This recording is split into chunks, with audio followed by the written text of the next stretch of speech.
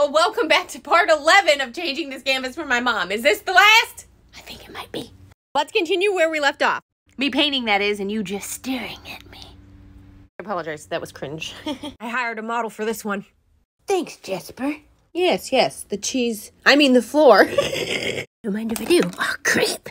After this, can I add aquatic specialist to my title? I only have a few more steps, but the biggest one is re outlining everything. So here's the before and after. I give you a freaking queen. Now I just need to sign my signature. I did leave the original because let's be real.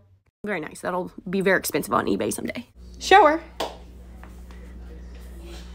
Oh my god, I love it! Yay! Oh my gosh! oh my god, look at those glasses! Does it look like me? Pull my hair. It Does it look like me? It really does.